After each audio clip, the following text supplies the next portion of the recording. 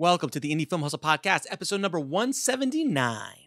If you set your goals ridiculously high and fail, you fail above everyone else's successes. James Cameron. Broadcasting from the back alley in Hollywood, it's the Indie Film Hustle Podcast, where we show you how to survive and thrive as an indie filmmaker in the jungles of the film biz. And here's your host, Alex Ferrari. Welcome, my Indie Film Hustlers, to another episode of the Indie Film Hustle Podcast. I am your humble host, Alex Ferrari. Now, today's show is sponsored by Audible. And if you guys are like me, I'm constantly learning and reading as many things as I can. And sometimes I can't just sit down for hours and read a book. So I love listening to audiobooks. And Audible gives you one free audiobook that you can download and listen anywhere while you're on the go, while you're doing other work. And it helps you keep that education going, keeps you learning new things, and keeps you moving forward. And I've downloaded filmmaking books, screenwriting books, inspirational books, business books all sorts of different books that, that I listen to all the time. So just head over to freefilmbook.com. That's freefilmbook.com and download your free filmmaking, screenwriting, or any kind of book you'd like. And today's show is also sponsored by my new course, Editing with DaVinci Resolve. I actually built an entire course on how I edited This Is Meg on DaVinci Resolve. So if you guys want to learn DaVinci Resolve and how to edit on DaVinci Resolve, and take advantage of this free, that's right, free software that Blackmagic gives you.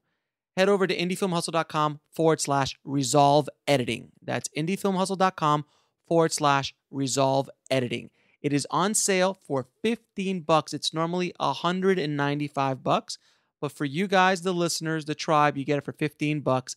And of course, it's part of the Indie Film Hustle's Master Circle membership. So if you're a member, enjoy it. It's already there waiting for you. If not, check out our Master Circle. It's an amazing membership site that I think you guys will get a lot out of. And I'm adding new courses every month, and I'm going to be cranking up new courses coming up in these next few months as well. So just go to indiefilmhustle.com and hit the Master Circle button at the top. Guys, today is a amazing episode. I'm so excited to bring this episode to you. Today's guest is Oscar winning and legendary cinematographer Russell Carpenter. Now, if you guys have been under a bridge or under a rock somewhere for the last 30 years, uh, Russell Carpenter is the cinematographer of not only some of the biggest movies of all time, like Marvel's Ant Man, Triple X, Charlie's Angel, The Negotiator, True Lies, Monster in Law, and some of my favorite 80s and 90s action films, Hard Target, which was John Woo's first American movie, The Perfect Weapon and Death Warrant. But the one I'm leaving out is probably his largest and biggest movie ever, actually, the second highest grossing film ever, Titanic. Russell, by far, is one of the sweetest and kindest uh, souls I've ever had the pleasure of talking to. Now, Russell is not only famous for working on Titanic, but also working on just with the, the most amazing directors and filmmakers over the course of his career, none being probably more prolific than uh, the legendary James Cameron. And, Russell and I sit down and talk about his almost his entire career, as well as working with James Cameron, how he got the job on True Lies, uh, which is an um, amazing story, uh, and how he got the job, and then from there how he got to Titanic, and how, what was it like working on the biggest movie of all time at the time he was making it. I mean, it was a $200 million movie when nothing was even close to a $200 million movie. To have that kind of scope and to deal with what he was dealing with on a daily basis, all the stories, all the rumors of the project going down and and it's going to be a, a complete catastrophe and it was just a thing that you can't understand in today's world what he went through on uh, on Titanic and and the just the mere size of it all and how he was able to handle that is a lesson for any cinematographer working not only on big movies obviously but even on smaller indie movies. And he just recently did an indie movie and we talk a little bit about his process with that how he works with directors how he sets up his movies. I dug in really deep and he was so kind to give us almost 90 minutes to answer all the questions i had for him. He was so so generous to do so. So get ready for an epic, epic conversation with Russell Carpenter. I'd like to welcome to the show Russell Carpenter, the legendary Russell Carpenter. Thank you so much for being on the show, Russell. It is a pleasure to be here. Thank you so so much, and I'm I'm so glad I ran into you to, in uh, Cinegear down in L.A. That's right. Uh, it's, it's amazing. It's amazing what happens when you're here in L.A. yeah, yeah. Uh, Cinegear is is the place that you'll you'll constantly be running into anybody you ever met. you're right, absolutely. Everybody in the business kind of walks in there, and and they're walking around like crazy. Um, no, so I wanted to ask you. Let's first start off at the very beginning when you were born. No, I'm joking. Uh, when uh, how did you get into the film industry uh, in the first place? What what made you want to become a cinematographer? Uh, I, at first, it was just play, something to do with my friends. I, I, uh, I I grew up in the Orange uh, County area, the it, deepest, darkest, very Republican Orange County. This was about two ice ages ago. So Yes. we were, but when we were playing, we were we were working with uh, super super eight millimeter cameras, and it was just dumb things to do to keep ourselves occupied, my, my friends and I. And in fact, I. Uh, uh, my, my sister, um, Maureen, who is the sanest of the four of us children, uh, for raising these ugly animals. Uh, She wouldn't say that. Called chuck chuck. They're, they're desert lizards, and they and they look like roadkill when they're alive. Oh my god! And uh, uh, but they're um, because I grew up watching things like the original King Kong over and over and over again because it was on the uh, local station so much. Uh, we decided we would uh, make a monster movie, so we we tied. Uh, we, we took one of her lizards called a chuckwalla, Mhm. A- and, incidentally, my, my best friend in the world was named Chuck Waller. So Mhm. string. That's hilarious. And uh, so we tied strings to the lizard. I mean, uh, thread to the lizard. Put plastic. uh, I mean, uh, paper paper wings on the lizard, and flew it endlessly back and forth in front of a landscape painting. And that that was our that was our first movie called "It Came from the Pet Shop." Oh, that's and we worked, genius. we- worked our way up from there. So uh, I was afraid uh, at, at the time. I eventually got out of uh, high school, dodged track by doing AV, TV, audiovisual, television Mhm. kind of stuff.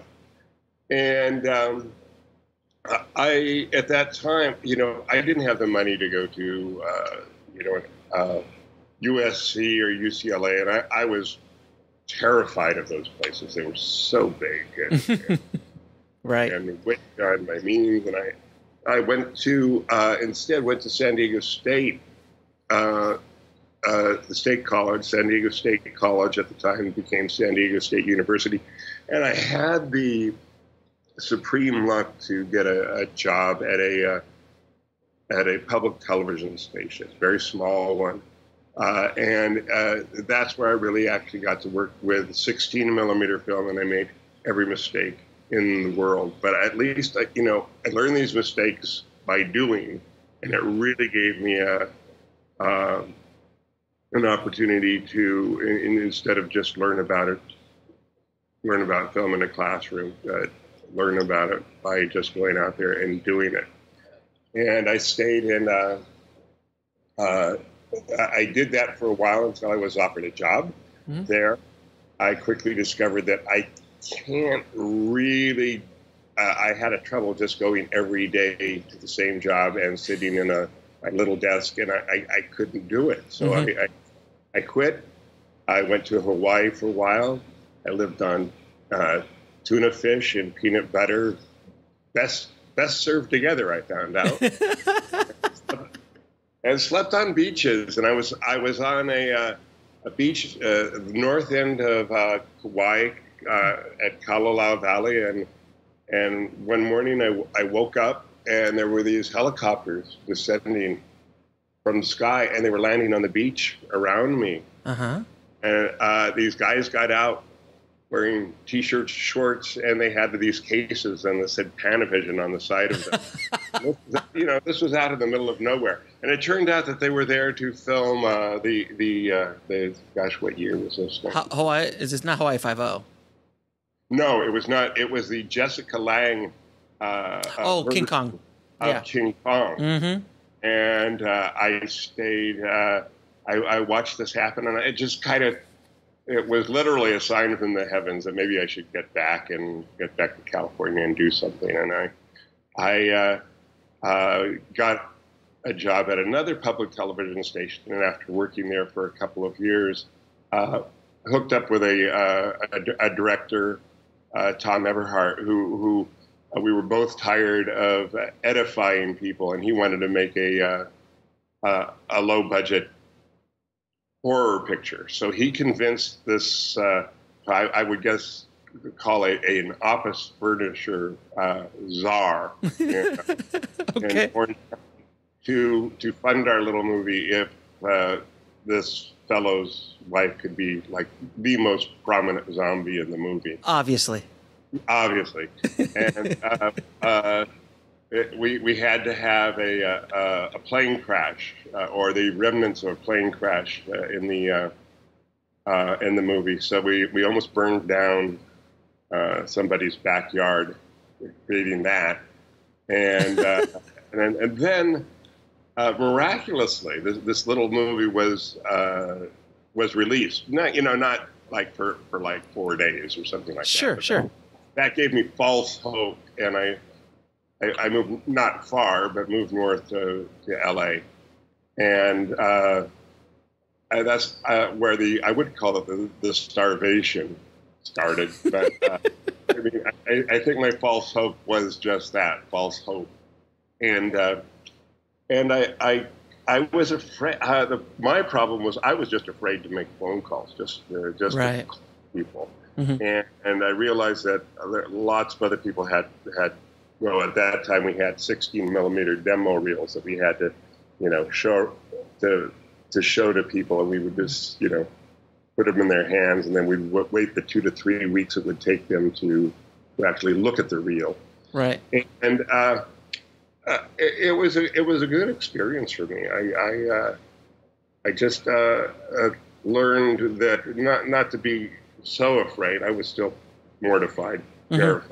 E- Eventually, what happened was that friends of mine that I've been working with in documentaries in Orange County, they moved up to uh, to LA, and they were starting to do things, and they would get me in on on interviews with things, and from there, it was really, uh, uh, uh, you know, I, I would call it. It was like a lightning fast.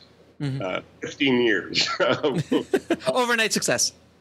yeah, uh, uh, overnight success. Fifteen years of you know just waiting and waiting and waiting for the for the very next thing to to, to come in. But in the meantime, what I was doing was I was I uh, at that time again it was like VHS tapes or beta tapes that I would watch the work of. Uh, uh, cinematographers that I really admired, and I'd watch these things backwards and forwards, and backwards and forwards, and and and learn learn from that. That that was kind of how I learned. Plus the little time I would have on the on the set, and I was starting to do the dramatic form stuff, if you could call it that, because it wasn't really dramatic. It Mhm. was kind kind of schlock. Right. Uh, uh, uh, let's just call it like it was, but sure. but it got me on a set, and that was the best experience I I I could have. And I just moved from zero budget to no budget to you know You- slightly you know budget movies, and I, and and it was much harder to get into the union. So I just I just kept doing this as I worked my way along. So you. And So Yeah. basically, you were just grinding it for 15 or 20 years until you started really getting some momentum built up for yourself.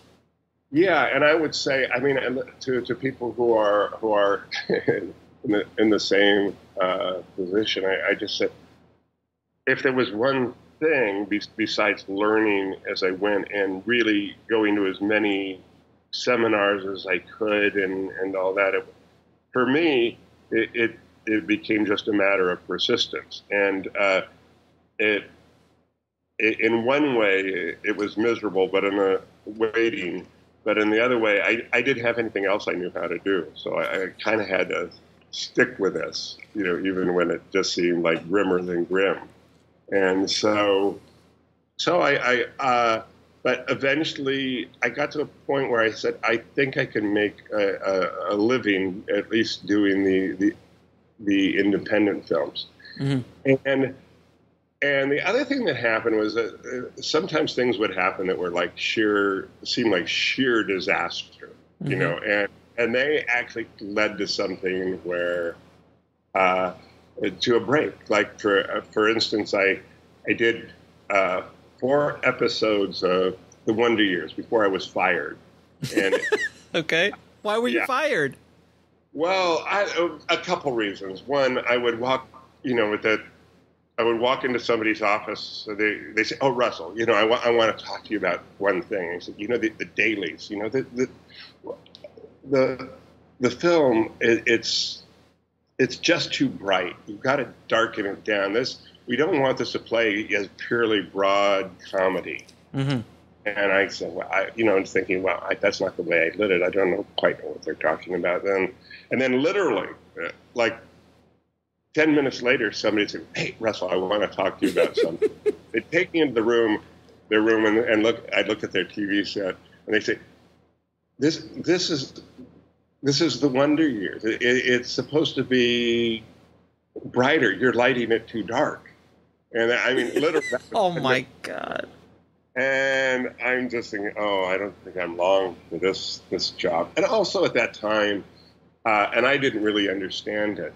The, well, the the people who ran the shows called showrunners, they they really wanted the DP to kind of tell the director what what to do because the directors would come in and they were at that time TV. kind of like Yeah.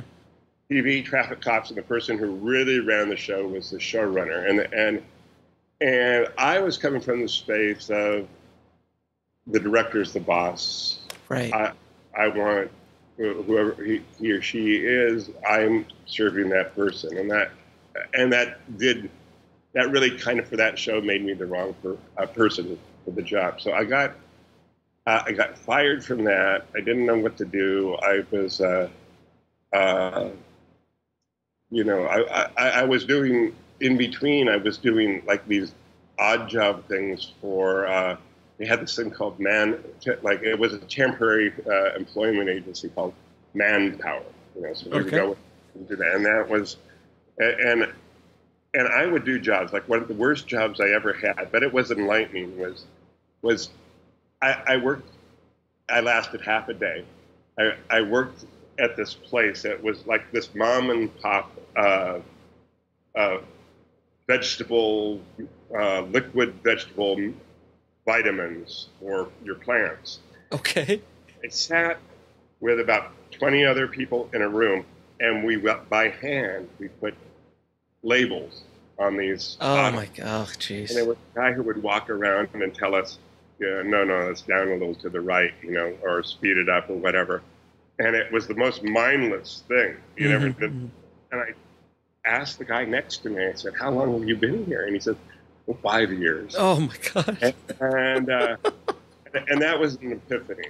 And it, the epiphany was, wow, you know, there are probably millions of people in the world who have jobs like this. You know, and and and however miserable it seems at times, I, I at least I have a, a job that at least when I'm doing it, I really love it. You know, Mhm. and it, and uh, it, it just made me. Uh, I, I don't know. I, it didn't really get me over anything except at least have an appreciation for the For the for the- job. for the job. And but uh, but what happened was I did like after that show I had was really running out of money. I took a, a show I was trying to get out of doing. I was doing a lot of uh, I know C or Z level horror movies. hmm Did this uh, uh, something I really didn't want to do. Uh, Mhm. It was Pet Sematary 2. And it was, but I had the greatest time. And the people were great. The director was great. hmm And uh, one of the people who was in that was Eddie Furlong, and he had just he had just uh, not too long ago done Terminator 2, hmm and and yeah, he was very young, and so but and the the people who were kind of his on-set guardian said, "Oh, you know, you, you, there's something about you. You get along really well with uh, Jim Cameron." So, And- so before we get to Jim, because I have a bunch of questions about about about Titanic and your relationship with Jim, I want to take you back a little bit to um, one of your first films, and I'm just dying to hear what experience it was like and what lessons you learned from shooting Critters 2: The Main Course. Uh, well, let's see. What did I learn? Uh, Because I mean, that's the thing. A lot of people only see the Oscar. They only see not from you, but generally when they see someone successful in the business, they only see the end result of 20, 30 years of grind. Uh, yeah, and I, I, I, that's what I'd have to say is that for all of that, I mean, there, I, there, there are a few cinematographers in the business who, who seem to, you know, like rise out out of the depths of the ocean, full blown. Uh, I mean, full cinematographers. right. Uh, you know, Janusz Kaminski or uh, or, or, or Chivo. Uh, Oh, Chiva. Yeah, Chivo, of course. Yeah. Or Vilmos or one of these guys. or, or Vilmos, and you go, oh my God, they're fully formed, you know, and they're they're like 14 years old, and they're shooting, they're shooting, you know, these these master pieces, and I'm and why am I still on the bunny slopes of life, you know, just you know grinding it out, you know, just scooting along. I don't know how the world works, but I, I, I do know that if you keep putting out the energy, Mhm. uh, uh, eventually, I, I mean, it, thing, things things happen, and I I uh, I had a great time with with, with Critters 2, and I and and you're just trying to, you know, even though e- even though you're looking at the, your heroes, and, and at that time I was looking at people like Vittorio Storaro, and Yeah. I said, and I'm shooting critters 2, and yet maybe there's something uh, from from w- my hero that I can apply to this and Mhm. add it or, or try to make the the light a little more interesting, and. Uh, uh, you know, so each, each each each thing you do is somehow putting a uh, a part of your personal camera together because we all talk about the gear and stuff like that, but the real the real gear is, the the real camera is the camera inside, the one that you're putting together that, that you'll be putting together for your whole life. Is that Mm. and and anytime you get on a set on anything, it's a just it's just the most excellent opportunity to to not only develop the vision, but to learn how to develop the vision while things are falling apart. Because in a way, on film sets, they always are. Always. Because there's usually never enough time. Uh, there's usually, I wouldn't call it the daily emergency, but but a lot of things just don't happen the the way you imagine they might, especially when you're starting out, because people that you're working with are uh, have usually have about the same experience level uh, that that one would as a young cinematographer. So uh, I, I would just take these these little things that, that I, I could do, and maybe it, it certainly wasn't every shot, but but I'll say, okay, at the end of the day, I could say, oh, but I did some terrific stuff with that shot or that shot or that shot, and and uh, so it it was it was never a situation where oh um, I felt that I'm a good good enough to wait for a script. That was not the I that ideal never happened. It was Mm. I've got to eat, you know, Right, got to right. stuff, got to pay the mortgage. Mhm. What can I do to get experience? And and I think that that was one of the best. Uh, uh, uh, a person that I know who, who, who worked in a lab, he said, you, you just said, said, do everything you can do. You know, just, just do every everything you can do. And that turned out the, uh, the way that, that worked for me. And, you know, and I have and I have talked to cinematographers and say, no, I, I, I will wait until I, I have a script that I think is worthy Mhm. Of being of shooting, and that worked. That worked for them. But I, the the the I just I picked a path that I needed to pick out of necessity, basically. Now you so and during that time, during the time you were doing a lot of horror movies like Nightmare Before Nightmare on Elm Street and the legendary Puppet Master, which was one of my favorite. I loved that. Must have been such fun shooting Puppet Master. Well, I that I only did. Uh, I, I did uh, uh, like additional, shots, sure, additional stuff. Additional photography. At that time, I would do anything that I could. Uh, working on Nightmare on Elm Street. That I mean, those those films were actually a lot of fun to do. They were really a lot of fun, and they were done in basically warehouses out in the Santa Clarita mm-hmm. Valley, mm-hmm. Uh, kind of they say way off the grid, and they were at. Uh, gosh, I forget what years these were. This must have been the 80s or. Uh, that was 89, yeah. Yeah, 89. It was again. It was much much harder.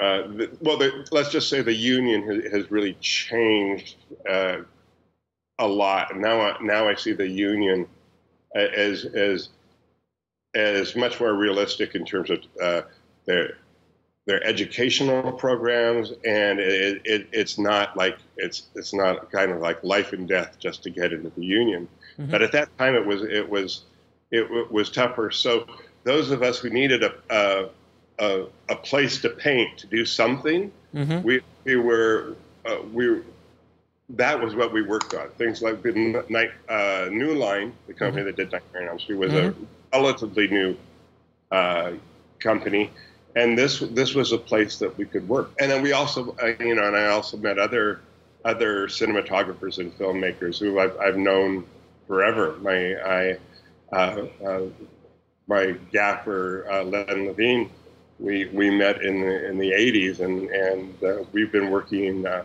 on and off together ever since. So mm-hmm. that that's a long that's a long relationship. Now, and then you also during that time you started getting some more action work, uh, and did, and you actually worked on some of my favorite action movies of the uh, late '80s and early '90s, like the the classic Death Warrant by Jean Claude Van Damme, uh, per, yeah. Perfect oh, Perfect Weapon, Hard Target.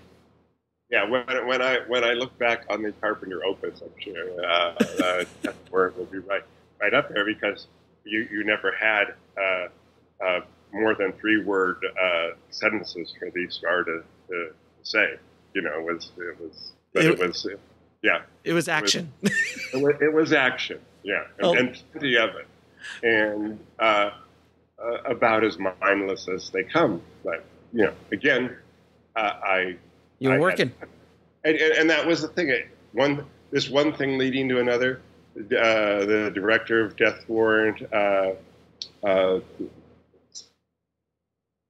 uh, uh, uh, I just blanked on Deran Sarafian. Mm-hmm. His father, his father was going to do this film, uh, a, a, Japanese sci-fi movie that had at the time a phenomenal budget. I think it was 55, uh, 55 million bucks. I have. I, am looking at it right now. It's a monster budget for its day. It was Solar Crisis, yeah. right? Was that called Solar Crisis? And and it turned out to be an unwatchable movie, but I did good work on that film. I was really happy with what I did, and so I went back and I co- collected bits and pieces. I got this and that, and then I went in and I basically retimed the the thing myself uh, mm-hmm. to use as my show reel. So here I have my whatever it is. Okay, let's say fifty-five million dollar show reel mm-hmm. show, and I didn't know what to do with it. But so I had that. I had something to show, and as you go along, you just have to because because as a cinematographer, you can be the potential cinematographer that you want to be, but you have to show people that you're, in fact, validly a, a real cinematographer. So that's why it's even even if something that you do is the acting's bad or, or this mm-hmm. or that story's bad, somehow you you can cobble it together uh, skillfully, either yourself or with the help of an editor, mm-hmm. and you use that to show people. But showing people something that you've done is that's absolutely paramount that you you you have that. So, yeah, now, I would, yeah. Now, as far as um, there was one movie in that time period in the early '90s, uh, Hard Target, which was a big deal back in the day because it was John Woo's first yeah. American film What was Yeah. it like working with John, and, and how did that that change? Because I know he was used to. Li- I mean, I think Hard Boiled and The Killer they shot in like 250 days or something. Like he just sat and just shot. You didn't have that on Hard Target. How was that that relationship to work with on that on that movie? that it was amazing. But one, uh, John is is one of the nicest people you could ever meet, and I, you know, I said, how is it that this guy is making you know, Shooting the most violent movies ever. uh, that are are are just mere uh, they're they're clever. They're very, uh, but uh, you know, there's a lot of blood flying around, and doves and doves and and dust. doves doves doves doves. And, oh, doves, yeah, doves. Of course, we, we even yeah we, we had our obligatory dove. I think. yes, you it- did. Yeah, and it uh, it it was. I know it was hard on John in the sense that in a in America, he said, and he, he said this to me after the film. He says, one thing I've learned is that in America, celebrity is everything. So he said, celebrities, and, and at that time, you know, uh, Jean Claude Van Damme Oh, he was huge. He was huge. huge. And he said, and therefore they have a they have a lot more input not only into how things are shot sometimes, but especially how things are cut a- afterwards. And and he said he said that that was probably one of the reasons he he, he eventually went back and did some of these really great films back in, in China was that he was not used to dealing with uh, the political culture in Mm. uh, in, in Hollywood, and he was not used to. I mean, really being the the god on the the set. Not that I, I'm not saying that in an egotistical No, no, way. no. I'm saying it in the sense that Vision. the the, it's the vision, Yeah. director's vision. And he he said uh, uh, if he wanted to do a big action scene with um, you know amazing action, he he literally have hundreds of people who would want to do this crazy ass stuff that that would be very hard to pull off in the United States, Mm. like uh, given the regulations that they they have here sure. but the uh, but the the experience of working with him was great, but also learning the, the way that he shot was very different in terms of how action is, is staged in the United States. In the United States, you'll take your action and you'll take your moments and you'll shoot in pieces. Uh, this piece and uh, and here, and then we move to this piece, and it doesn't necessarily have to be shot in order. John would arrange his shots, his action, as, as though it was a kind of a putting all the springs into a, a, a fine Swiss watch. And every little piece of action would lead to another piece and flow into it. And, and so he, instead of doing all these little pieces, he would do, he would make it more of a ballet and, Mhm. and make sense as a whole. But in order to do that, and this is where it, it, it falls on the cinematographer who's working with, with John, is that he'll want to do it with seven or eight cameras of course. and and how you get the how, one how you light for that and and then one how you how, how it's almost impossible to keep the other camera out of the shot but somehow you do it. And so we would do these takes and we do them once or twice and, and, and he would have it. It might it might take us the you know several hours to set these things up but once it happened you just go oh my god this shot took us to this camera, and and and he he then he knows that okay, he's going to use two thirds of a second of this shot, which is going to take us to the other angle, and that may last three seconds, which will take us to the other angle. You know, it, it was really amazing. So then, basically, instead of instead of doing seven or eight different setups, you would work really hard to get everything in one setup, but you basically have done your sh- done the scene or done that that, that sequence. Yeah, and it's a, a, a, a, a also it's harder on the, the stunt people and the actor because you have to make it look like every hit connected Mm-hmm. and and uh, but uh, it these things had an energy though when they were cut together that was really great.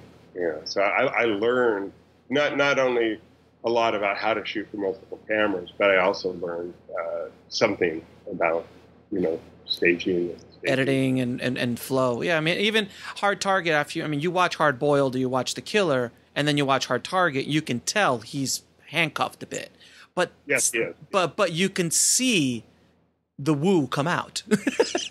yeah, yeah, you know, uh, yes, and some of the signature things that, that he liked to do, we certainly we certainly did those. But uh, but but then you can also tell. I mean, so here, this is a Jean Claude Van Damme film, Yes. it, but it is, and then you go back and you look at Hard Boiled, and they, they have a lot. I mean, there's a lot more going on in those films. oh than we- God, yeah, I mean, they're they're, they're amazing.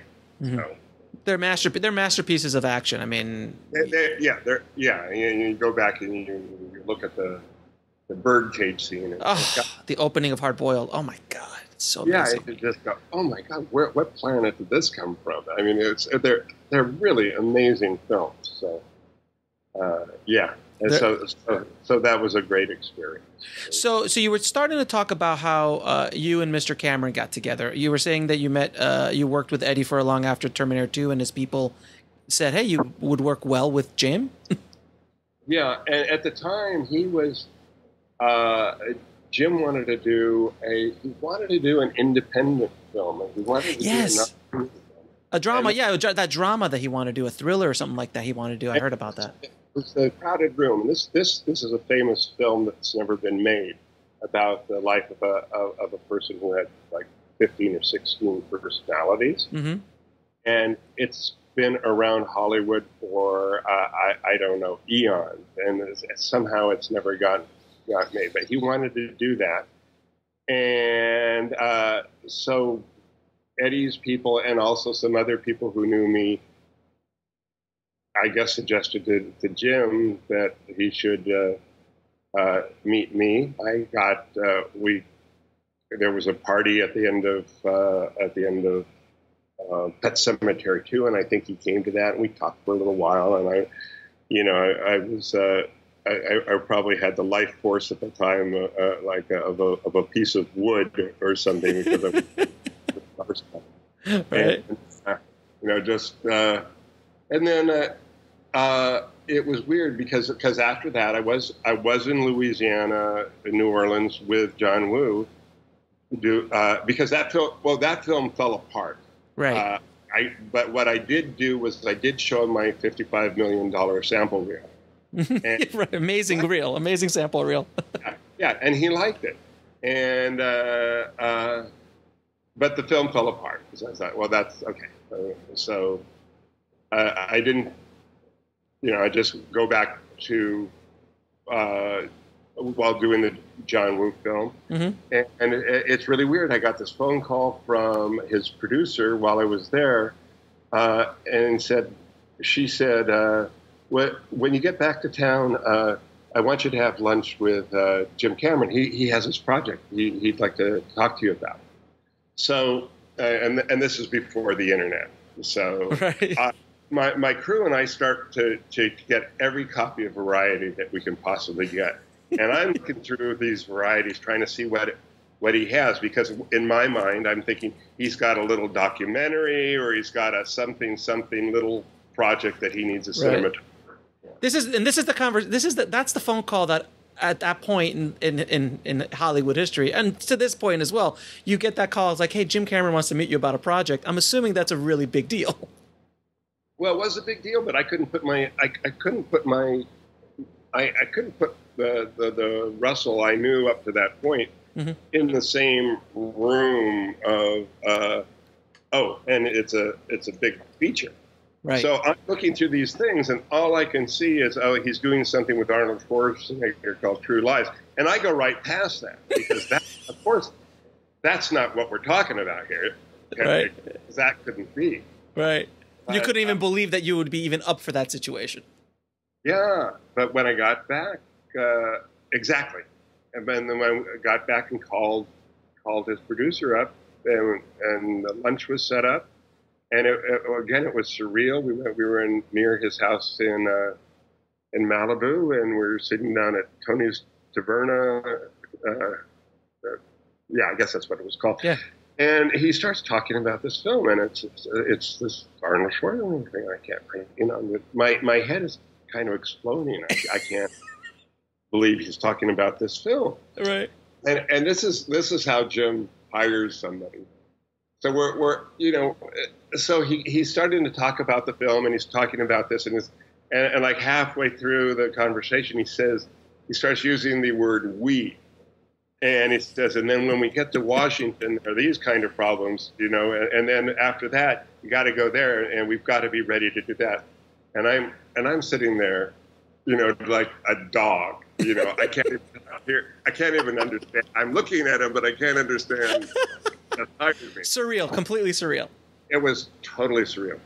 And so we have lunch, and I, I leave, and I and I, I call my agent, and I say because by that time I had an agent. I said I think I was just hired to do this big picture, mm-hmm. and she calls me back two days later, and she says, "Yeah, you knucklehead, you know, yes, you were hired to do the film," and uh, and then it that that I guess of course that opened the Jim Cameron uh, uh, chapter life and it, it, was very interesting because uh, uh, the the pre-production went really really well. Mm-hmm. Uh, uh, uh you know, and I just felt like, uh, you know, of course, I felt like I had a lot to prove and, and stuff like that, and and then and then we started filming and. And that, that went really well too. It was going, going oh my God and uh, just never let this happen to yourself because this is what what I did. I said, well, I don't know what a, because I had heard stories about other cinematographers mm-hmm. that had worked with him, and they, they weren't good stories. Mm-hmm. Well, I don't know. I, maybe maybe I'm the person who cracked the code. You know? Oh and, no! everything's just going so well. And uh, so all those legendary James Cameron stories, for you at least on True Lies, didn't happen. Uh, they didn't happen up until about uh, the fourth weekend. and, and, and, and, this story I, I, tell a lot because it's it's it. I, it has something to do with persistence, I guess, and, mm-hmm. and also something to do with the fact that that sometimes you've got to develop a skin, a tough enough skin that you you know that you, you realize that it's not about you when you because I went out on plenty of interviews, was turned down plenty of times, and you know you're you're kind of in the same boat that an actor is. You mm-hmm. out and you're going to meet with a lot of rejection, and you just cannot take that personally. Just mm-hmm. go back, just keep doing your thing, and, and hoping the, the next thing comes along, and it, eventually it will. Maybe not as fast as you wanted it, but there it is. Mm-hmm. But so uh, we we were he had been watching everything on the uh, on the uh, well, at that time on the camera video. Uh-huh. Okay. Yeah, and so now we're in a uh, we have a screening one night. It's the first time we're in a theater at, at the Jim's uh, uh, screening room. Uh, there are about 40 people in there. They're all department heads, and we're doing we're the film starts to roll and we're watching a scene, and it's a scene where uh, Arnold Schwarzenegger has, has just returned from his first mission that he was up in the snow, mm-hmm. and he he returns home and he goes over into the room where Jamie Lee Curtis is uh, sleeping. Goes over, looks at himself in a mirror as he takes off uh, mm-hmm. his wedding, or you know, or something like that. Mm-hmm. And so that shot comes on, and it, it's it's a little dark, and I, I think, oh, I'm going to have to have them do a reprint on this, print it up a few points. And all of a sudden, I look over at Jim, who's who's sitting beside me, and he's just sitting there shaking his head. I go, Jim, Jim, what's wrong? And, and, now he says loud enough so he's sure everybody in the room can oh, hear. no! Uh, he says, he says, I have the highest paid actor in this or any parallel universe. I can't see his eyes. I said, Jim, Jim, well, I'll just print it up three points. I think everything's okay. He says, no, you, you print this scene up three points and you've ruined the mood of the scene. And that loud enough for everybody to hear. Oh. So I, you know, from then on, I just want to die because because he'd wait a, he'd wait a couple more minutes and then he'd say something about you know a shot had come up that was maybe a little overexposed, Mhm.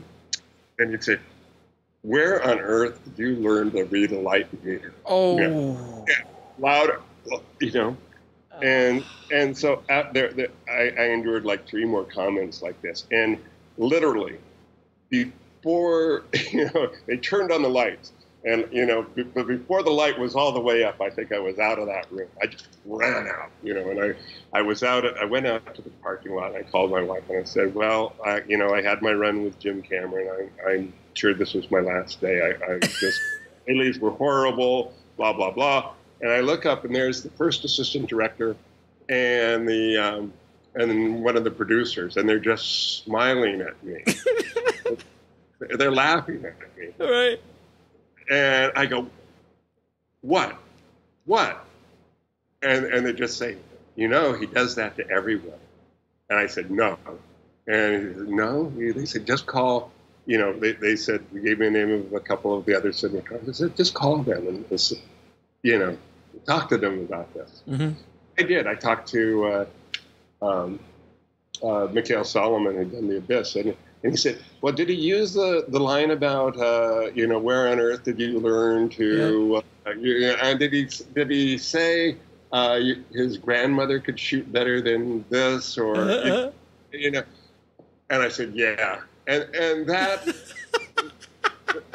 I said, "Okay, you know, I really have to have this credit." and uh, I'm going to stick it out. And uh, there were days that would go fine, and there were days that just felt like somebody hooked me up to two high voltage wires, and I was being electrocuted for the entire day, you know, until they called wrap. And uh, that was my that That was That- True Lies. that was true life, and that that that was if, if there was ever a trial by fire picture, that was that was it for Yeah. sure. I mean, you hear. I mean, I, I mean, I, I studied Jim's career fairly closely in The Abyss. I mean, one of the one of the craziest experiences of all time, and you hear all these stories about him. And I, and you know, I, I actually knew some people who worked on uh, Avatar and how he's changed over time, but yet still very, very Jim. Uh, But so I wanted to ask you about working Yeah, with. with uh, yeah, work- yeah, he has changed over time. I've heard he's. I've heard, and this is just again from secondhand. I've heard he softened a bit. He's not as like he would be back in the prior before Titanic stage, but he's still Jim. Yeah, the, the thing, the thing about well, one thing about Jim is if one ever gets an opportunity to work with him, or, or maybe somebody like him who's coming along, is that there's a a singularity of vision and, and almost a laser-like concentration on the scene that he's doing. I mean, I've never seen anybody concentrate like him, and I've never seen anybody working harder than he does on the set. I mean, mm-hmm. it's it's amazing. I mean, how can somebody be that invested second after second? You know, because the rest the, the rest of us mortals seem to say, okay, I just did that. Now I've got a chance to take a breath. Maybe I'll just go over to the craft service table and do this. Mhm. I, that doesn't seem to be Jim to me. He he is. I mean, there's in terms of pure devotion to what he's doing. I've never seen another person like him. You know, so- in, in my experience, and and that's that's really something. And he and, and my sense about him is that every time he does a project, he goes out and says, "There's something I don't know how to do. There's something I've never done." You know, so Mhm. with True Lies, it's well, I've never really shot, you know, a comedy. You know, uh, so I'm going to do a comedy, or, uh, uh, you know, or, or now here's Titanic, and I'm going to make.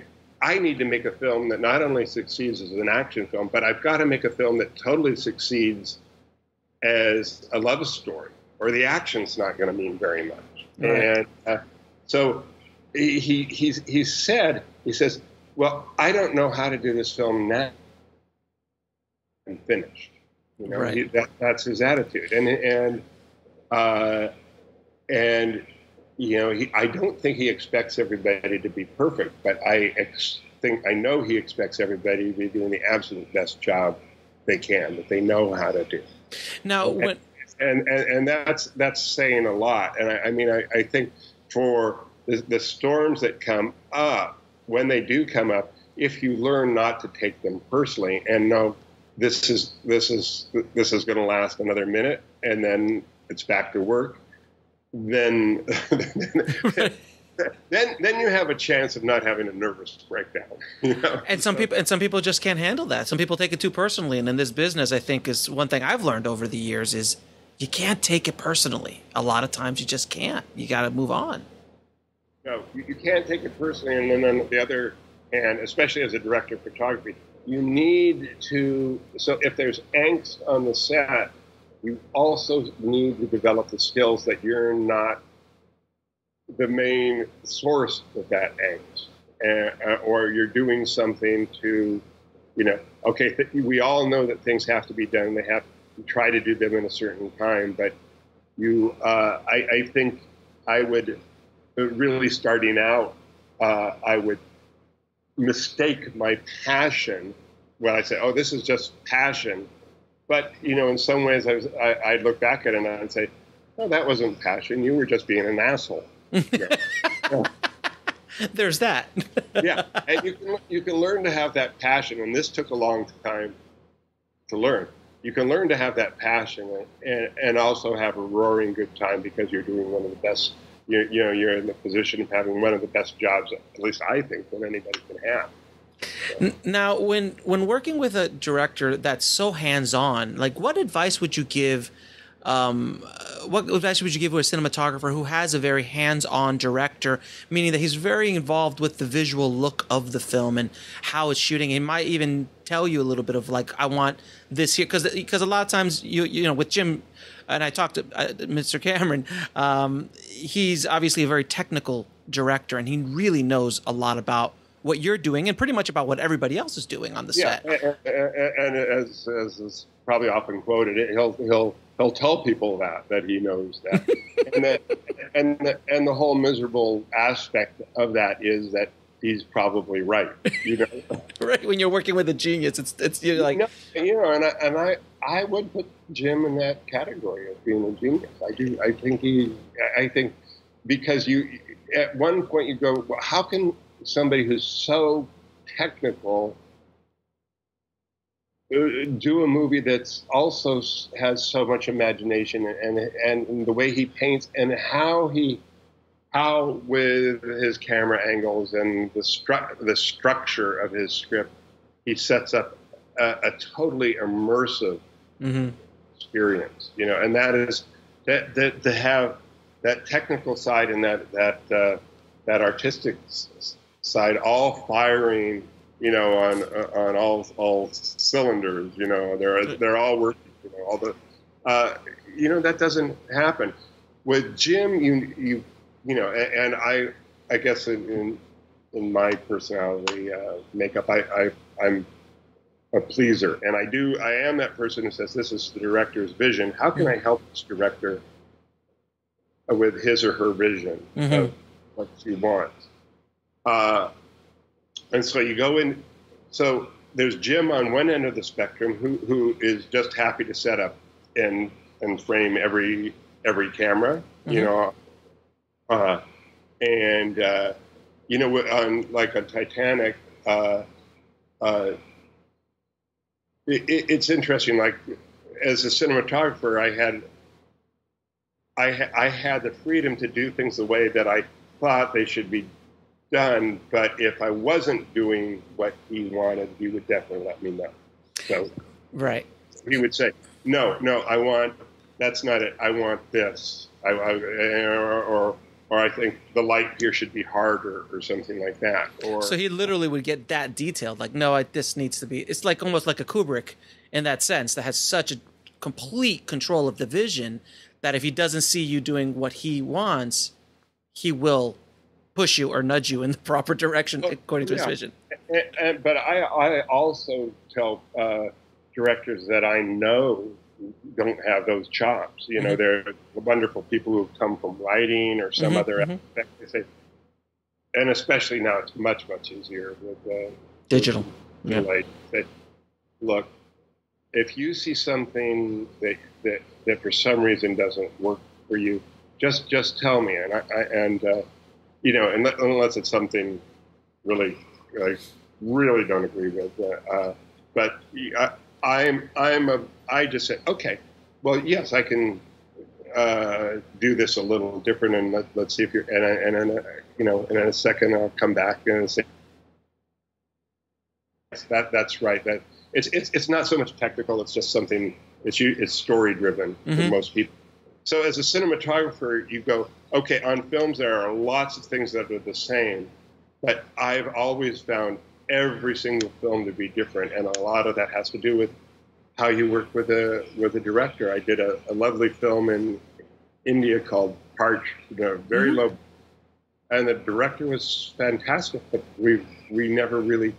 After she told me what she, where she felt the heart of the story was, or or, or this particular scene, uh, we didn't really talk about uh, lighting. We uh, and she and in this situation, I was I would suggest blocking. I would say, okay, given what I just saw, we could do it this way, this way, and this way, and because we were on a budget, and if we do it, we'll do it this way. We tell the story, and it we just shave a couple of shots off the scene.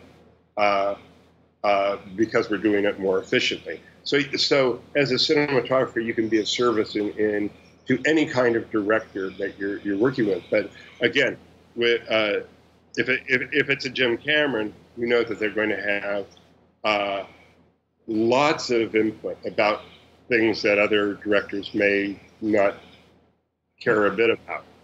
It- It's very very flexible business that way. So let's talk a little bit about that little film Titanic. that is, you know, we've heard legendary stories about, you know, stories from the set. I knew a few actors on the on the set that have told me a lot of stories. I mean, at the time it was the biggest budget film in Amer- in, in filmmaking history, in Hollywood history.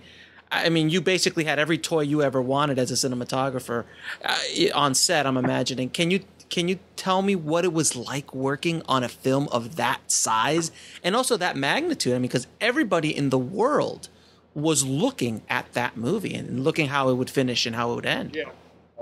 Uh, for, for for a lot of the uh, what, we- what- we'll say our your younger listeners who weren't really or certainly weren't reading at that time, uh, the film was such a phenomenon when it was being made Oh that there- there was actually on the front of Variety, I think, there uh, there was a there was an outline box with uh, called Titanic Watch because everybody thought this thing was going to be uh, just a, a just ghastly flop because it was the most expensive movie at the time, and there there were uh, occasionally there would be setbacks because uh, things were being tried that had never been tried before. Right. It, and also, it was it was what I, I call uh,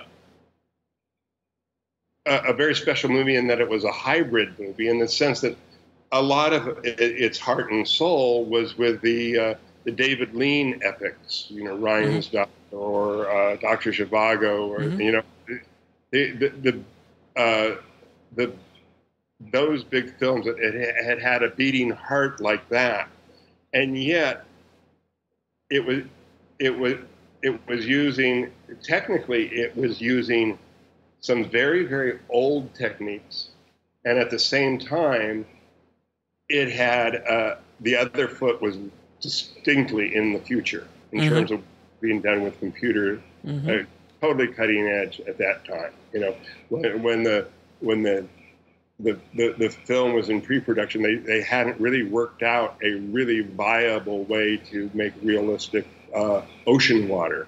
And, uh, And I mean, so they he, uh, so the, the, the, there were two two things that I would read in the paper.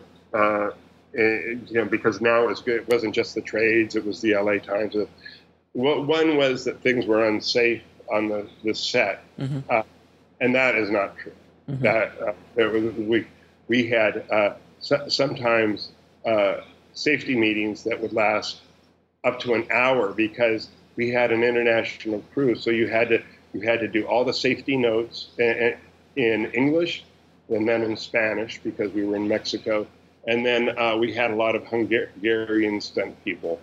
Uh, so, so, but but safety was was really really at the top of everybody's uh, agenda and, and Jim's too. It was definitely not a well, you know, people are expendable kind of thing. So whatever, somebody cracks a rib, breaks a leg. You know, mm-hmm. that, that wasn't it. I didn't.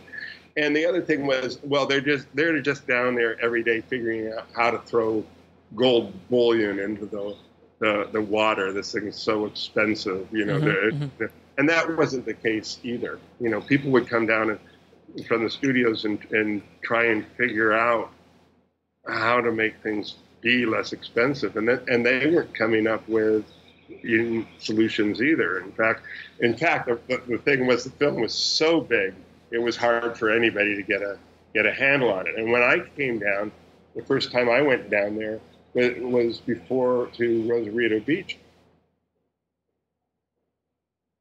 The studio hadn't really been built; it was a work in progress, and there was an excitement about it. It was it was like well, this is how the gold rush must have been. You know, right. buildings coming up like, you know, crazy in days. I would go, uh, I was actually working on another uh, movie at the time this was happening, so I'd come down on the weekends. And, and it's like I, every weekend, gosh, there, there's another big building just came up, and there's a, there's the tanks are being built, and it was really quite a sense of excitement about it. And then uh, but what happened was, you know, on, on, a on a regular film, you you have a sense of where everything fits in, and, and here are the pieces, and you, you can look at the film as a totality. It, this film was just so big, you just had to look at it. I did next week, and it, it was you're constantly putting out one fire after another And this doesn't this set isn't ready. You know, it's like, and I'll just just for example, my uh, John Buckley, who was my gaffer on that that picture, he went out as a sh- ship was being built, and he was trying to figure out one how to cable something. as the Titanic. Because basically the whole thing is a, a, just a huge piece of scaffolding. I mean, a, a huge piece of scaffolding on, on water. Uh, yeah, well, but but yeah, but not much of the ship was ever in in water. I mean, that's part of the illusion that the the the tank uh, parts most of the tank was just three feet deep, just just deep enough so a lifeboat could be in the water, and and you'd have like three inches of, of clearance at the bottom of the water.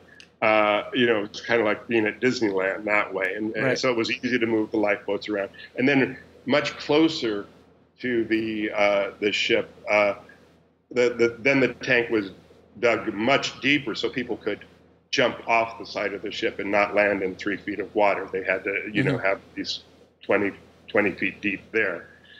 And I mean, it, it was this, this crazy uh, logistic you know, and, and this, this this podcast is going way too long. No, no, no, please, no, we're, we're fine, we're fine. How how people figured this out? I mean, uh, how things were scheduled, uh, the, the, the, the, ship itself, mm-hmm. and, and a lot of the sets were basically engineered the same way uh, uh, cemeteries engineered letting a coffin into the, uh, the hole. You have cables under the, let's say you have cables under the coffin, mm-hmm. and then the winches, you unwind the winches, and the, the the, the, the, cable or straps loosen, and they, they start to take the weight of the coffin and, it, and it, it, drops into the hole. That is the same thing. That was the same thing as how that huge ship was uh, uh, was dropped right. into, and uh, also we had sets that had to be dry in in for one scene. Let's say say take that giant dining room Mm-hmm. with all those lights in there. Uh, we, we shot our dry scenes, and then uh, a month or two later came back and shot the wet scenes. And we were in a uh, the, that dry set was actually built inside a, a tank. So Wow. now filled up with water, and we have to change all of the lights out because uh, they're going to go underwater and they have to stay lit because that's what happened with the lights on the Titanic. So, so now you're into all, all kinds of logistical things. So, so to make it look like the water is rising, which one end of the the set would be lowered on straps until uh, it, the water st- started to creep in, and then the rest of the set would be lowered to make it look like the water was rising at a pretty fast rate. And then then you end the take and you go back to one. But going back to one I mean- reset everything. to reset everything, and there were, were times that the, the set would go into the water, and there, there's chaos happening. You've got hundreds of people, and and all that, all the silverware, all the tablecloths, uh, they start to float around, and, and we're talking, you know, what hundred tables or something like Yeah. that. They're floating everywhere, so resetting is not an easy thing. Hmm. And that that was just kind of the story of each, all the amazing takes at the end of the at the end of the movie where the ship's going down and, and hundreds of people are running up and down the uh, the the the ship. That that was probably the last film when, for real when you saw 300 people running up and down. That was because four years later you'd have uh, well not even that long. You along comes uh, Peter Jackson with. Uh, uh, Lord of the Rings, and he's got thousands of orcs or whatever running around, and they're all they're all computer driven, and, and so so Titanic was really that that movie that made the push out of out of uh, what we called more classic kind of filmmaking. So how? d- uh, But how did you shoot? Like, how do you shoot a film of that size? Like, just on a technical standpoint, the the massive amount. How big was your camera department? It, it, that would depend on what we were shooting. We started off with the uh, smaller film, uh, uh, smaller scenes, uh, and, and we'd have one or two cameras, and that was it. And we, we'd go along that way for a while. And then when we got to uh, the really big stuff, uh, that, that's, well, for the cinematographer, for everybody, that's when the craziness happens, is you've got... Uh, Jim would say, "Hey, you know what? Let's go outside tonight. I want to see the whole ship." And uh, and we're going. Uh, we weren't even scheduled to do this for like three more days, and we're not even sure that we can get everything up and running because Right. Just going back to how when you talk about the immensity, we wound up with something like uh, uh, 40 miles of cable inside the ship, and the ship. When you go around, when you look to the other side, all it is is it's Scaffolding. Yeah. yeah. scaffolding, Right. and one side of it has what looks like a ship on it, and only the two top decks of the ship are uh, built uh, along the real ship, the, the and the smokestacks and stuff like that. And so, uh, going back to my gaffer, when we're talking about the immensity of things, he says. Uh, he comes back one day and he says, "Well, we're, we're going to start out with we need um, we need 1,500 lights." And I, Jesus. and yeah, that's what I. That's exactly. Jesus. What kind of lights are we talking about? Like lights, lights, like film lights? uh, he said, "Well, I counted. We counted the portholes, and we've got 750 portholes. Oh So we need uh, we need what we call a, a, a visible light that the camera can see that looks like it should belong there, and then we want a uh, every, we should have a, a, at least a 1K pointed out of every porthole. Okay, and so so we've done we've done the portholes, and we're up to 1,500 lights. So he starts to put his list together, and his list goes to uh, uh, 20th Century Fox, and and and John gets a little letter back, a little note. that the, the, it's very it's it's a very nice note, but the subtext is you're insane. You don't know what you're doing. We're going to send down some people who are going to help you figure out how many lights you need. Okay. They do that. So they go so they go out with John. Uh, this is in pre-production. Yeah. One day. They come back at the end of the day, and these guys say, "You don't have enough lights. You need more lights." and they were right. And I, and I have to hand it to 20th Century Fox. They found lights. They went to warehouses. They found, you know, and they they they refurbished a bunch of uh, of lights because at the end of the day, you have just you have those 1,500 lights just for the portholes. Mhm. You have uh, uh, uh, and, a lot of them have to be sealed uh, Sure. because they go underwater. Right. Uh, and then you have uh, all the lights and all the sets for the whole movie. And I, now the, the number is slipping my mind, but we had uh, a phenomenal amount of, of lights. Uh, not only decorative lights, but lights that we had to use, ranging from everything from the, the huge lights that, that kind of light the ship at night Mhm. to to everything we needed to make the movie because because you can't you you have to have your lights hidden and clustered because you can't just say oh I need a 5K and move it from the stern to the bow which is 800 feet away you know that's not going to work so uh, so it uh, to, to John Buckley's credit I mean it was just an enormous undertaking to to, to do this and uh, uh, but it, the, the number of lights was in the thousands. The cable, the cabling for this thing, which looked like, uh, I call it, it's like if you ever saw that movie Brazil by Terry Gilliam. Sure. It, it, it looked like a Terry Gilliam version of, of the telephone company in the 50s. I mean, it was a complete uh, cluster, whatever, of, of cabling. And how it all stayed on, I'll never know.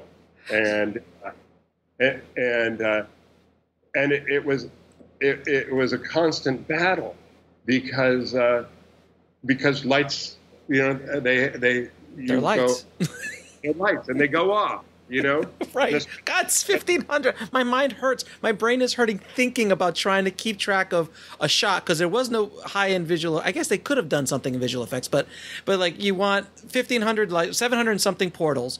You're in the middle of a shot, one of the lights goes out. Like, oh my god. Oh yeah, and boy, and we learned our lesson the first night because we, uh, I mean, we had a lot of people back there, uh, be, uh, you know, in the scaffolding area, but because it was the first night, and I think we were shooting a couple days earlier, Mhm.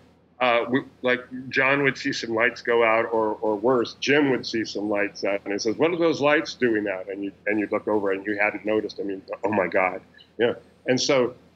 John would say, "Get somebody down to so and so and so and so," and this is God hon- honest truth. So somebody would run back there, Mhm. and, and and eventually you'd see the lights go on, and then about three minutes later we'd hear, you know, this is so and so. I'm down here.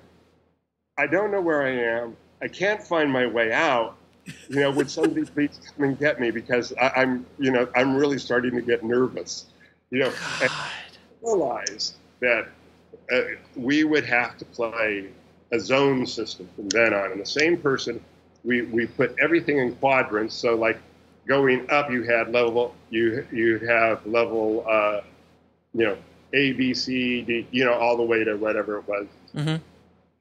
And then and then horizontally, you'd have a number. So every every quadrant, and we'd have the same person, as boring as this is, work the same fairly small quadrant night after night because that is uh, uh, uh, that was the only way we, we could do this efficiently. But it, it, that that looking back now, it seems funny. But when you're waiting, when the director is waiting, it wasn't so funny. I mean, it's it's it's honestly it's a miracle that no one got hurt. Yeah, I, I think in construction, Like, somebody. stunt. Oh, really? Yeah, and we did have. Um, let's see, some somebody else got hit by a car walking along the road down there. That wa- that wasn't on the set, Right. and and then that we had one big night uh, uh, that had been rehearsed for weeks, where the the at the end of the at the end of the movie, the the, the, the stern of the ship goes near near vertical. Mm-hmm. Yes. People start falling down, Mm-hmm. and this was and they were what they were falling down into was a a, a bunch of stunt pads covered in green, so we could extend the the, Sure. the ship to make it look longer, and they, they had it all worked out. So the timing, so one person would fall, and and they were when I say fall, they were all on these things, uh, these descender rigs, descender fan rigs that would slow the fall down. It would still look real, but it would, you know, they they weren't literally falling; they were under control. But they they had to get out of the harness and and then jump out of the pad. You know, uh, not get out of the harness, but disconnect and then Right. jump. But uh, on the first two takes, uh, in the in the excitement of it all, uh, like some people weren't getting out of the way, so the next person down, like somebody cracked a rib and Right. somebody landed. on top of it. And, and, and Jim just said, "Hey, we're not doing this anymore. So more people, somebody's going to really get hurt." And uh, uh, so we came back later, and the, the, the really significant falls they they were done by uh, CG. CG. Yeah, Yeah. CG based based on a real person doing a fall. It that then became a CG person. Uh, yeah, it's, it, he was cutting edge because there was nothing like that at that point. There was nothing like that at that point. Yeah, and if you look back at it now, you know, you could, yeah, you can pick certain things apart and go, well, that person's not quite walking right. That must have been. Yeah, my favorite, my favorite spoof or the the biggest mistake I've saw in Titanic, if I could be so bold as to call something out, was when Jack's running down the hall while the water's rushing behind him, him and Rose, and you see the face that they pla- they face replaced the stunt people, and you could it, that's the uh, the only really like blaring visual effect shot that was like ah Yeah, I- that that that was the one where you know he really tried to make that work, and I, I guess you know, uh, he pushed the technology too far. yeah, and, now, now face replace, replacement is, is is commonplace, but with, uh, at that time. Now there's one. Now there's one more question about Titanic I had, and this is a. I- read an American Cinematographer magazine article years ago that I think you gave about the wide shot of the ship sinking uh, into the water. That the bulbs, because they were hot, the bulbs on the actual deck, not like film movie movie lights, but actual lights, practicals, would hit the the water and they would pop. So then after you would reset, you would have someone go in there and have to re unscrew and screw back in new lights. Is that true, or is that something some truth? Here's the, the the timing on all of those scenes where that, that started out basically looking dry and then sinking into the water. Timing was of the essence because uh, let's just take the dining room. Mhm. Uh, dining room uh, when we shot all the dry the, the the dry for dry scenes like dinners and stuff like that.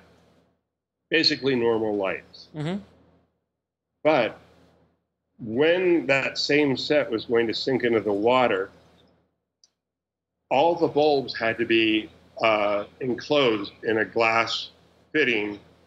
They, they had to be watertight because as soon as water hit any of these bulbs, uh, uh, they would explode. Yeah. Oh God.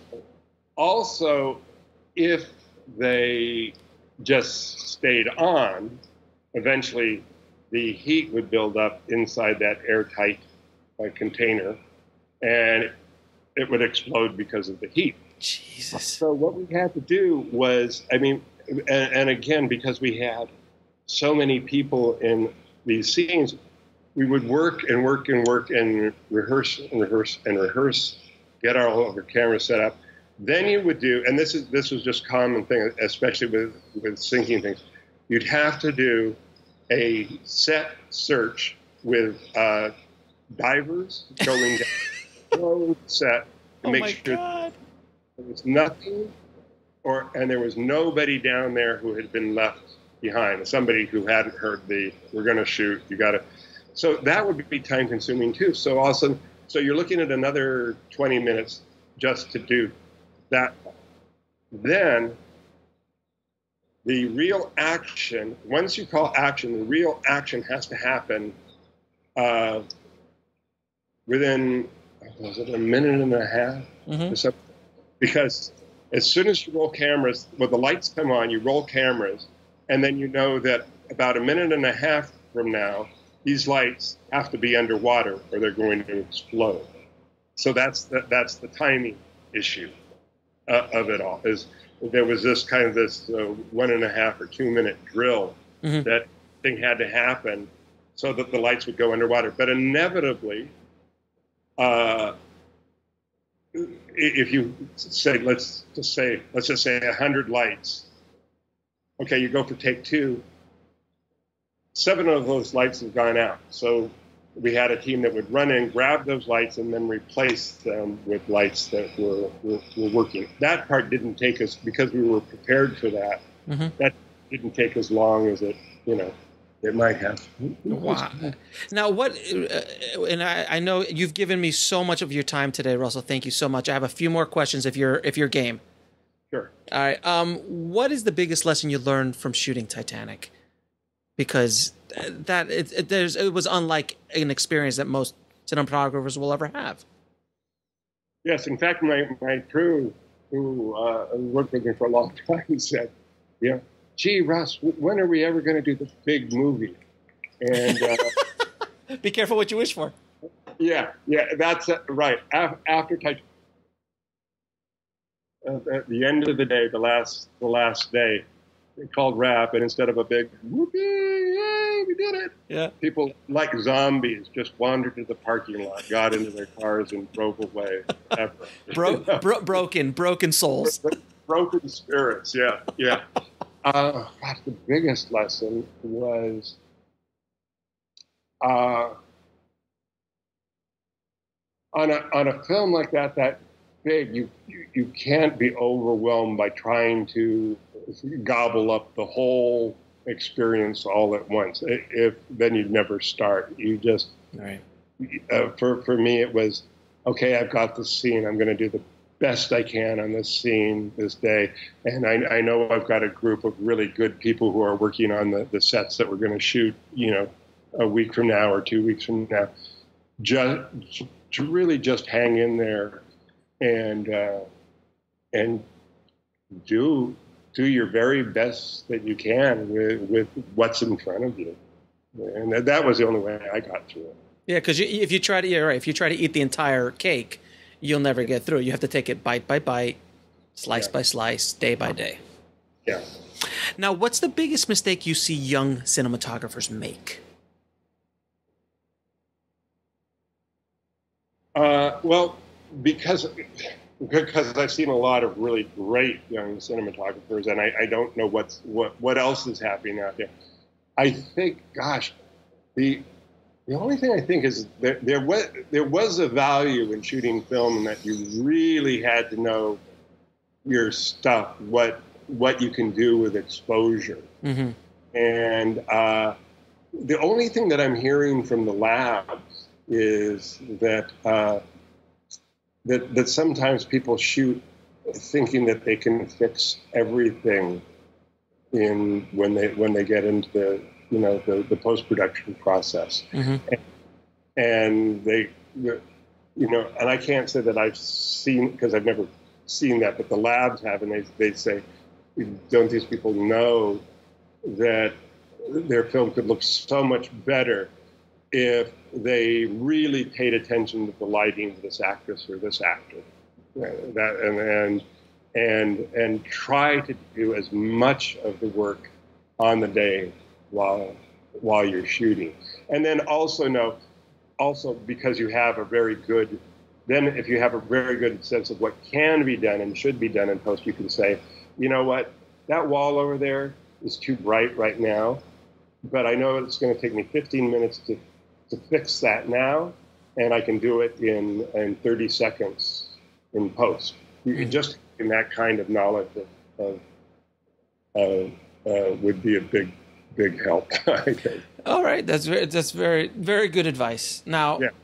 what would you, uh, on a business standpoint, uh, a film business standpoint, what advice would you give a cinematographer wanting to break into the business?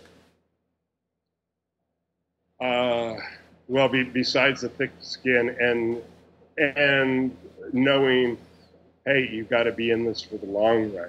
Mhm. Those are the first two things. I, uh, God, there's so many things. Just learning to work with people. Uh, that's such a because lots of people are really good at what they they they do, and and they're not good uh, the the people end of it. I, I would I would say the the cinematographer, even though you just want to be an artist, the cinematographer has to be an artist, of course, but a scientist enough enough to know what the camera that he or she's working with can do, what it's capable of. You also have to be a, a manager because as you go along, you, you're going to have to start to, to manage how how that your your your your people, your weapons are, how they're positioned. Mhm. You know, in terms of who's who's doing what, so you're getting the most efficient use uh, of them, and then uh, and then a, a politician, a politician, and, and I mean not not so Yeah. much in the smarmy sense of that we often think of, Mhm. but it is a political business.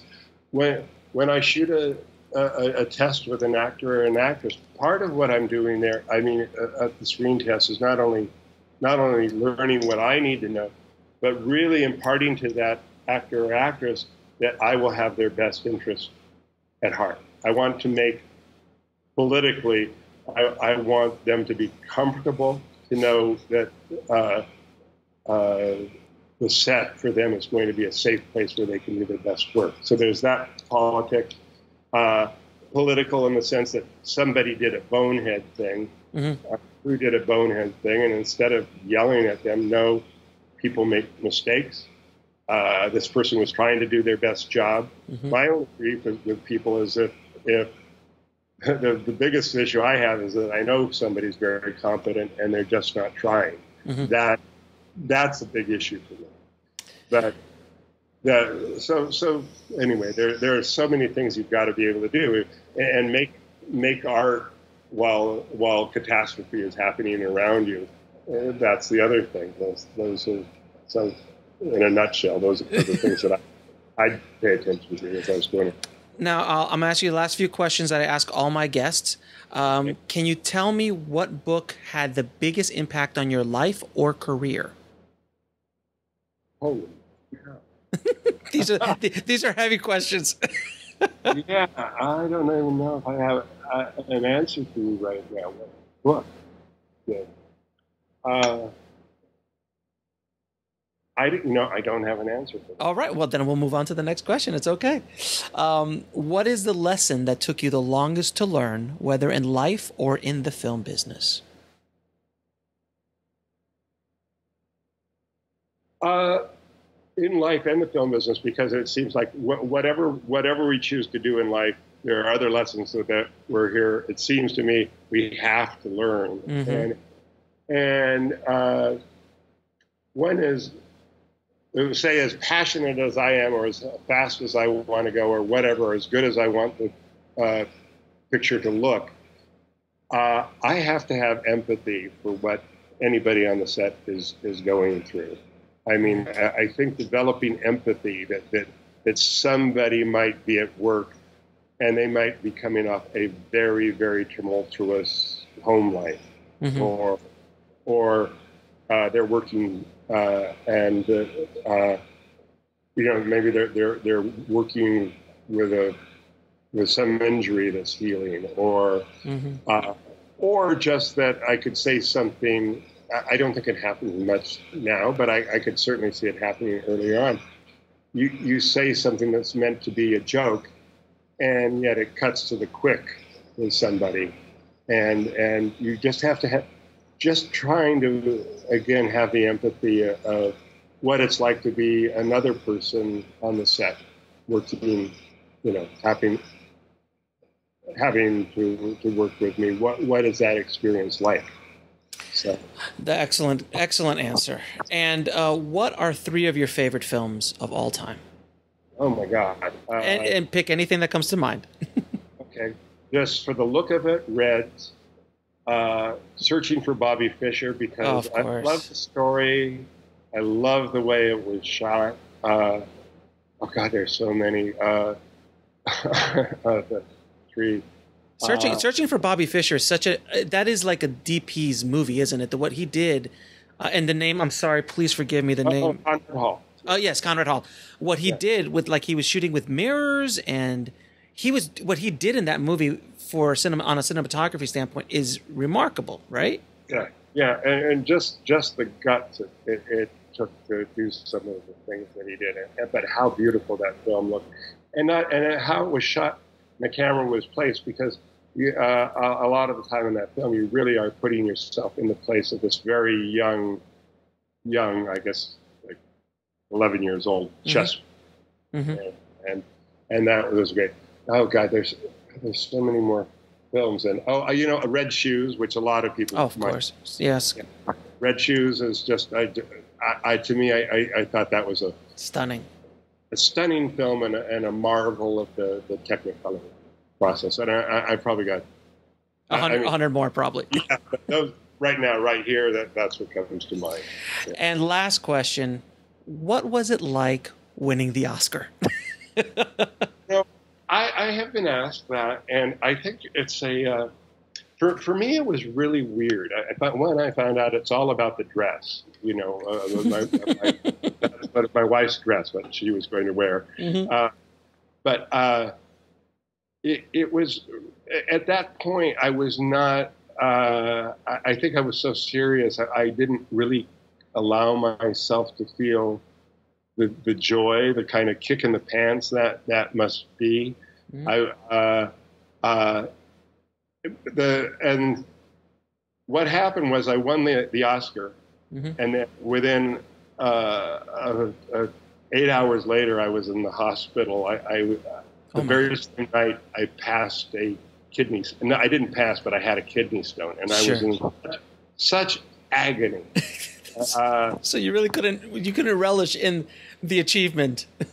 Yeah, yeah. So it was like, uh, yeah, but uh, it, it's really weird. Like right now, I feel like I'm enjoying my, uh, uh, what passes for a career as uh, a much, much more. I, I, I'm having much, much more fun on the set, appreciating people a lot more, and and and I have, uh, I, I, I would say, a little bit, uh, or maybe maybe a considerable amount uh, more of tranquility because. Uh, early on, I was just so nervous about you know how things were going or not going, Mhm. and now I, I I look back and I say, yeah, well, like right now I'm going through a period where nobody seems to be calling, hmm and and now I'm going through a period where too many people have called, and I you know, or whatever, you Right, know, right. just I just say I, I can take what's kind of on the plate uh, with a, a more ease than I than I did before. Russell, I want to thank you so so much for your time and and amazing stories and amazing advice you're giving our listeners. Thank you again so much for for being here. Okay, well, thank you very much. That interview does not disappoint. Russell again is so amazing and thank you Russell so much for taking the time out. I know you're literally just got back from Bali and heading over to Vancouver and you had 2 days to rest and you took an hour and a half of that time to speak to me. So thank you again. And I hope you guys got a lot out of that interview. Uh, you know, I- it was just such a thrill for me to sit down and talk to Russell and to pick his brain about his process and his firsthand experience of working on some of the biggest movies of all time, working with the biggest directors and filmmakers of, of our generation. So it, it, it was such a, pleasure and humbling experience uh, doing this. So I hope you guys got a lot out of it. I know I did. I got really jacked up and really exp- inspired, and, and I kind of start shooting again, but there'll be more on that later. Uh, but anyway, guys, thanks again for listening. If you want to see anything we talked about in the show, head over to our show notes at indiefilmhustle.com forward slash 179. This is a long one, so I'll keep it short.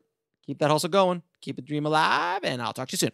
Thanks for listening to the Indie Film Hustle podcast at indiefilmhustle.com. That's I N D I E F I L M H U S T L E.com.